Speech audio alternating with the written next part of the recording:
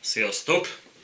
Minden a 11 fő akupresszorás pontot bemutató videómat azzal kezdem, hogy bármennyire is reflexdiagnosztikáról van szó, ezzel a módszerrel diagnózis nem állítható fel. Viszont rendkívül nagymértékű találati eséllyel feltételezhetjük, hogy a szervezet, beleértve testájakat és mentális állapotot is, mely részén található bármi nemű rendellenesség.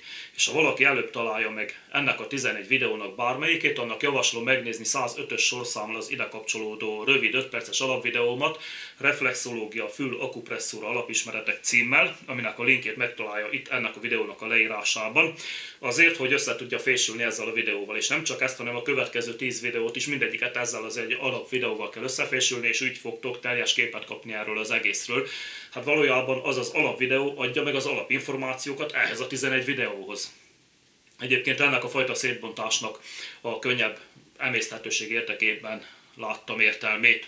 Jó, hát akkor lássuk, melyik ez az első pont a 11-ből. Tehát az első ilyen pontunk a gyulladás csökkentő fájdalomcsillapító gyógyszertári pont, ami, ahogy a zábra is mutatja, és a videó borítóképén is nagyon jól látható, a fülkagyló előső oldalán, a külső hallójáratnál közvetlenül az úgynevezett fülcsap alatt helyezkedik el.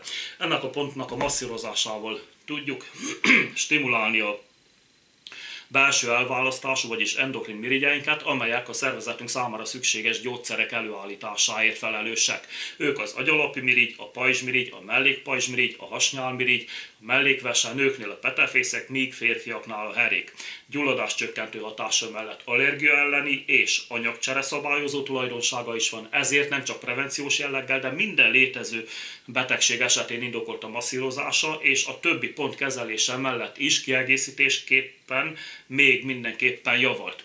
Tehát ez a pont aktivizálja leginkább a belső gyógyszertárunkat, és sarkalja rá az önszabályozó rendszerünket, hogy igény szerint hormonvegyületeket küldjön öngyógyítás céljából a kritikus szekciókba. A masszírozása pedig úgy néz ki, hogy a két mutatójunkkal rányolunk mindkét fölön egyszerre ezekre a pontokra, tehát erre a két pontra, és másodperc alapú ritmusban nyomkodjuk enyhén fölfelé, jó erősen, egészen fájdalomhatárig, legalább két-három percen keresztül, időnként 8-10 másodpercig ö, kitartva apró ritmikus mozgással a nyomást. Igazából ennyi, hogy megelőzési célzattal hetente két-három alkalommal végezzük el mondjuk elalvás előtt közvetlen, ha pedig már kész problémával, tehát konkrét problémát állunk szemben és azt szeretnénk kezelni, akkor pluszban még minden reggel este 5-5-10 másodpercig végez, végezzük ezt a kezelést. Úgyhogy ennyi volt az egész, és akkor még egyszer elmondom itt a végén, hogy az alapvideónak a linkjét itt találjátok ennek a videónak a leírásában, azzal fésüljétek össze mindenképpen ezt a videót, hogy teljes képet kapjatok. Úgyhogy sikeres alkalma, köszönöm a figyelmet, és sikeres alkalmazást a továbbiakban, és jó egészséget mindenkinek. Sziasztok!